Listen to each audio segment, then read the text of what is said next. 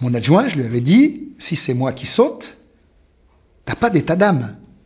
Tu prends, on continue la mission. L'heure n'était pas aux pleurs si on était dans l'offensive. Seulement, on l'avait jamais vécu. On l'avait tous lu dans des livres, mais on l'avait jamais vécu. Et maintenant, on peut fanfaronner, c'est fait. Hein mais quand vous êtes avant, il y a une phase de réflexion. Je veux dire, quand vous êtes chef, vous savez quand même que vous amenez 100 bonhommes au combat. Quand on a quitté Mourmelon, quand on embarque dans le train, le premier train à quitter Mourmelon, c'était le premier escadron, que les familles sont sur le quai de la gare, que le colonel Galino, chef de corps du RC 80, vient vous voir et vous dit euh, ramène-en le maximum, euh, vous êtes conscient que là, il faut être sérieux, quoi. On rigole plus. C'est plus des obus à blanc, c'est une vraie. Alors aujourd'hui, on fanfaronne, ce que je vous disais. Aujourd'hui, on a le sourire. Aujourd'hui, euh, on en est. Mais sur le coup, vous ravalez votre salive et vous dites pourvu que je, sois vraiment un bon élève, pourvu que j'ai bien appris ma leçon, que je ne me sois pas trompé.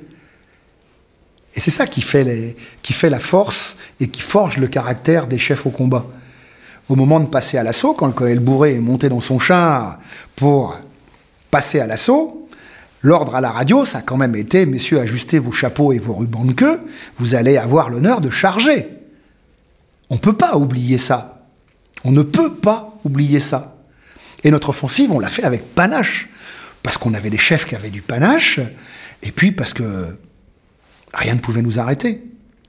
Certes, on avait l'artillerie américaine derrière nous qui avait préparé le terrain. Donc, comme je vous le disais tout à l'heure, nous étions conscients, de notre légitimité, nous étions conscients de notre force, et on savait qu'en face de nous, c'était une division d'infanterie irakienne qui nous attendait. Ce qu'on ne savait pas, c'est dans quel état elle était. Par contre, on savait qu'il y avait des blindés, puisqu'on avait des photos aériennes, puisque les hélicoptères américains nous avaient renseignés, on savait que c'était du T-55, donc ça va qu'à partir de 1500 mètres, ces gens-là pouvaient quand même être dangereux pour nous. Comme on est un peu des vilains, on est passé sur le côté et on les a attrapés par le côté. Ça s'appelle en caponnière, c'est une technique bien connue, mais ça marche. Et à partir de ce moment-là, les gens qui étaient dans les tourelles en face de nous, on les a bien vus. Ils ont compris ce qui se passait, et leur principale action a été d'essayer de quitter leurs embossements qui les bloquaient dans une certaine direction. Donc on a vu ces engins reculer et tenter de quitter le fuseau par lequel nous arrivions.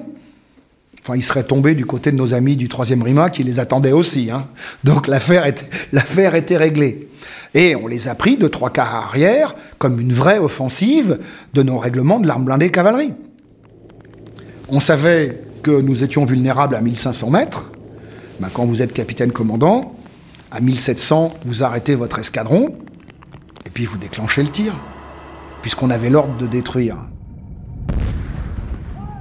Qu'est-ce que c'est le tir d'un escadron de chars? C'est simple. À la radio, vous annoncez à votre escadron, observez mon tir, réparti. C'est simple. Le capitaine tire un char au milieu du paysage, puisqu'on avait quand même une dizaine d'objectifs bien caractéristiques en face de nous. L'adjudant Maufroy, qui était à ma droite, savait très bien qu'en fonction de ce qu'il voyait, il engageait tous les objectifs de droite. L'adjudant Sanchez, qui était à gauche, savait très bien qu'il engageait tout ce qui était à gauche. Et le lieutenant Ruet, qui était derrière, savait très bien qu'en fonction de ce qu'il voyait devant lui, il débordait à droite ou à gauche, il a choisi le côté gauche, pour aller se mettre en position et venir épauler l'action des deux pelotons de devant. Donc ça se passe simplement. Ça se passe comme c'est marqué dans les manuels. Et c'est ce que je me suis évertué à expliquer à nos camarades quand nous sommes rentrés, c'est que l'entraînement que nous avions, Suip, Mailly, Mourmelon et les camps de Cangers, était un excellent entraînement. Et que, les, équipages que nous qualifions d'opérationnels en temps de paix étaient réellement opérationnels sur le terrain.